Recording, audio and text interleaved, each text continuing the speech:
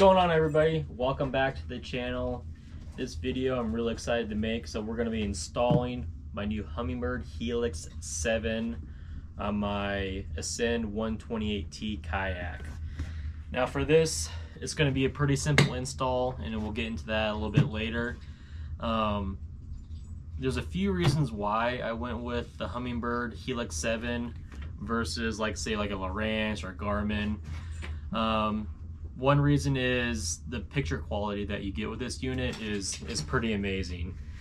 I'm um, not saying that other brands are bad, um, but this one I really like. And then this has the auto chart live. Now for me, that's huge for like, especially where I live. There's hardly any mapping on these lakes where I live in northern Utah. Um, so having this on my kayak while I'm paddling around, I can be able to save that info, see the contour line, see points, see little islands where I fish. That's gonna be, it's gonna be huge for me. In the past, I just ran, it was just a basic Lowrance HDI 5, I believe. Just had some mapping, um, nothing great. It had just your regular sonar, down imaging, and it worked for a while, but I sold that unit and finally picked up this bad boy right here. Now, I did go to Yak Attack and, and I did get their their Helix Fish Finder mount to put on here.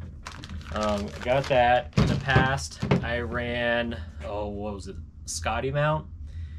Nothing wrong with Scotty mount. Their transducer mount that they have, uh, I think I got it right here.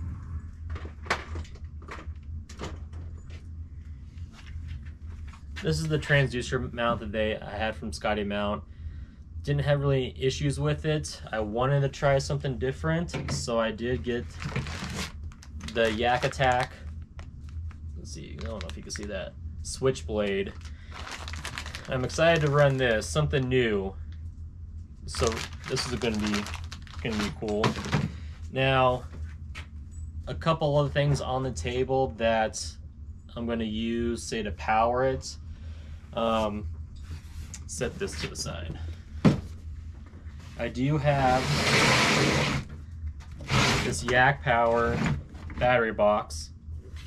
It has a port that I plug in for my power for the kayak. Now on my kayak, I do have the Yak Power installed. So installing this unit is going to be a breeze. It's going to take like 10 minutes at the most. Um, especially being that I had a kayak, I had a fish finder on it before.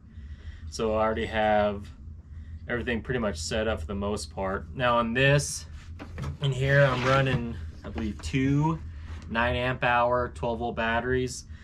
With the old unit, the Lowrance unit I was running, I had one battery in here and it was no issue at all, but now I have two because I'm assuming this thing's gonna suck up more juice and to plug it in, I do have this adapter. So with your power wire, I'm gonna solder it to this and then it comes with heat shrink in here so you can heat shrink them together. Um, and then don't forget about your inline fuse to protect your investment because I mean this thing was not not cheap. The thing was like $7.99 I got it for Cabela's. So I do have this already installed inside the kayak. I will just make sure I have the right size fuse needed for this unit. Now, on my Ascend 128T, it does have a rail system on both sides of it. And when we get upstairs, I'll, I'll show you guys the kayak. Um, I'm not real big on the rail system that comes with it. I kind of had some issues with the Scotty mount of wanting to pop off. And so a buddy of mine actually had some of these Scotty mount rails laying around. So when I'm going to install this, I'm gonna get everything hooked up on the rail system that I have. And then I'm gonna see if I need to use this. So I have this big one and then I have a smaller one as well that was given to me.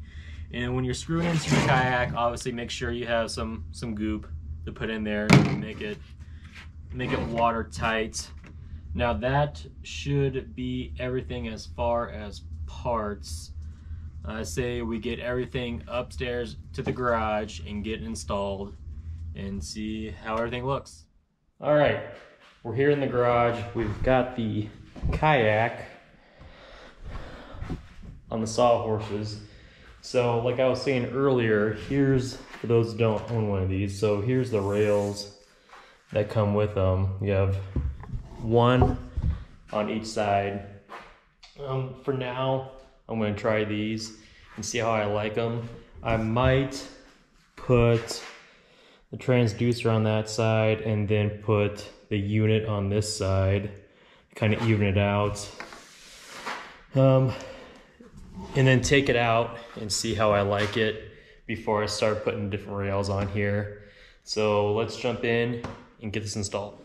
One thing I want to point out with this Yak Power plug, it does come with its own butt splice to crimp the cables together and heat shrink. So what I went ahead and did was got this waterproof butt splice. Uh, so it's basically you just crimp it and it's a heat shrink all in one. And then I'm gonna double up with the heat shrink that comes with the plug as well. Now, my last unit, I ran to this plug up here and just ran it back to the unit.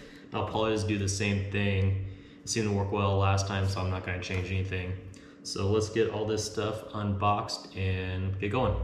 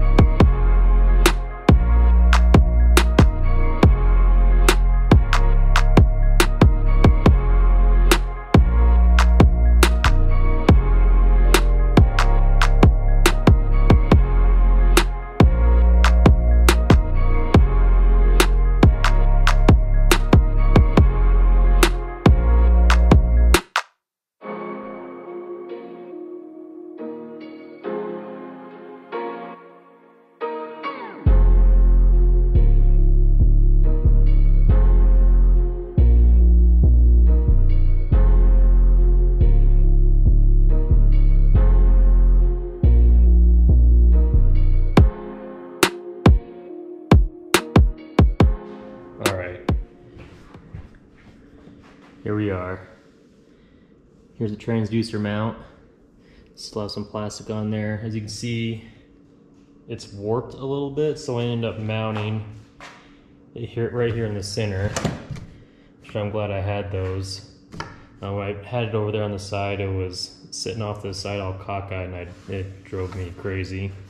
So here's how I have the cable brands looped up right here for now. I think that's probably where I'll leave them but the install turned out real nice. I'm excited to use it. So I powered it on, made sure everything worked, installed the correct fuse down inside, and now all there is to do is take it out to the water and set it up and try it out. I'm excited.